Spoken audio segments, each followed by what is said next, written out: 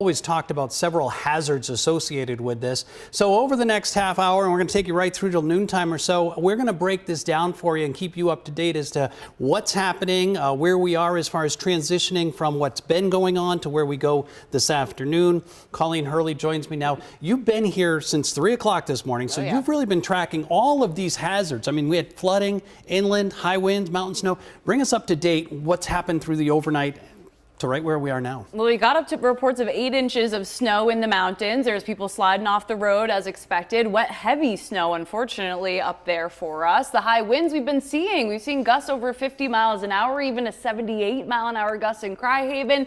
The wind is starting to die down a little bit, will be less of a concern as we go through the day. Inland flooding, we are seeing lots of road closures out there already. We're likely to see more and more of that as the day goes on. And coastal flooding, we're getting into that now. Water is already uh, moving ashore in Portland. Yeah, and this will, we've always had this at the top of the list as the biggest concern. Yeah. And I think what unfolds in the next hour or so is going to be the critical time period up and down the coastline. Once we get past noontime, yes, there's still going to be pounding waves, but things are going to be getting better, so to speak, because the high tide will be behind us. All right, let's begin to break it down for you. I want to get to the big wall here, and we're going to show you where the storm system is. Uh, big picture, the rain in and around the Portland area, points north, Lewiston, Auburn, Augusta, the Midcoast. You've still got the rain coming down, but it does look as though we're almost to the end of the rain. Okay, you can see from Portland down south to Portsmouth, Boston, it's over. In fact, we're hearing reports of the sunshine breaking through the clouds in and around the New Hampshire coastline, the seacoast there.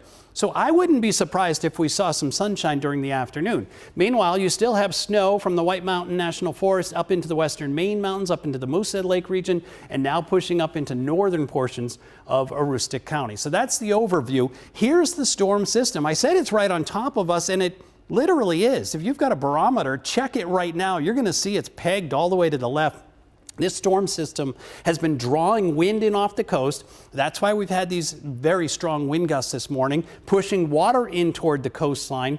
And what you're looking at here is a moisture channel. It's a satellite picture that we use more in forecasting than we do when we're kind of showing the pretty pictures. But you can pick up the drier air, those darker shades. See how New Hampshire and right along the coast?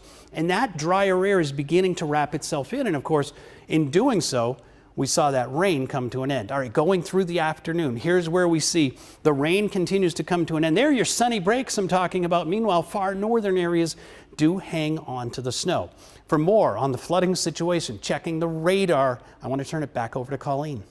Well, we've got flood warnings up already across much of the area. You can see much of coastal Maine down the mid coast up into the capital region, all under a flood warning. Remember, a watch is when flooding could happen, but a warning means flooding is happening now. And of course, we're seeing several road closures there. Not surprising after an inch and a half to almost three inches of rain fell in some spots. And this flood warning will go until at least 3 p.m. Remember, like Roger was saying, even after the rain has ended, we could still see water levels rising. We're going to be dealing with the coastal flooding still as as well. We have a flash flood warning, rapidly rising water in these areas, New Gloucester over to Brunswick, Yarmouth, Windham, Gray, Gorham, and the greater Portland area right now. So remember, turn around, don't drown. If you come across a flooded roadway, be sure to head the other way. Don't drive around any barriers. Someone does it every storm. We don't want anyone in harm's way here today. And the situation is going to get worse here before it gets better, likely. In Arundel, 2.8 inches of rain reported. Cumberland, almost 2 inches. Bowdoin, 1.6, and same with the Litchfield area.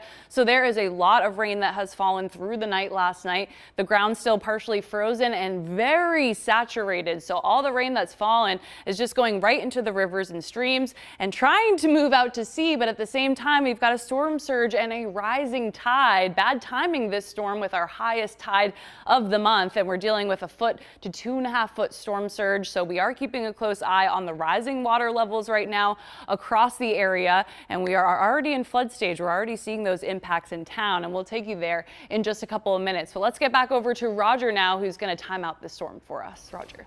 All right, Colleen. Yeah, right now we're looking at the high tide coming in. This is probably the biggest factor. We talked about the coastal flood warning that extends up and down the coastline, including the New Hampshire seacoast, all the way through the mid-coast Penobscot Bay and points down east.